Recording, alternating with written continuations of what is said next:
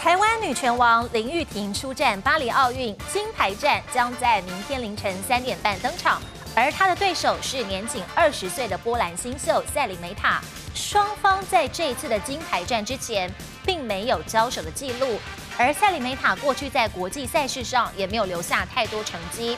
根据外国媒体的分析，她的拳法相当特别，让她爆冷门杀进了金牌战。不过有拳击教练直言。林玉婷在经验、技术上还是更占优势。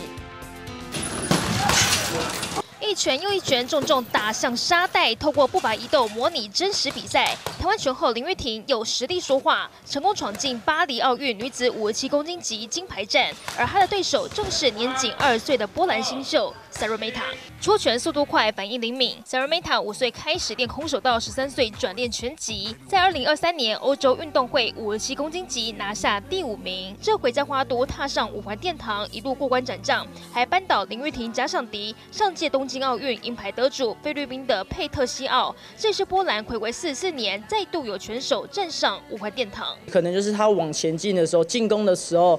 可能要注意一下他的手的位置，玉婷她刚好后退来不及，爆的状态啊，他进攻就可能会被卡住。上外媒分析，s a r a m e t a 拳路非常特别，甚至会在比赛中跳来跳去，干扰对手节奏。不过中华队拳击好手林玉婷，则是在技巧跟经验上更具有优势，目前已经集满世锦赛跟杭州亚运赛事金牌。拳法特别，简单的说就怪招。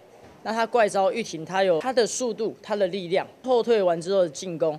反击能力啊，距离感啊，都是非常的厉害的。只是这次林玉婷出征奥运，却深陷性别争议，让网球国手谢淑薇点名中华奥会跟拳击协会应该出来捍卫选手权益。台湾作家李文成更直接放了一把火，把哈利波特书籍烧掉。更有医师直言，五十六年前才有波兰田径女将被误判为男性，最后也是怀孕生小孩。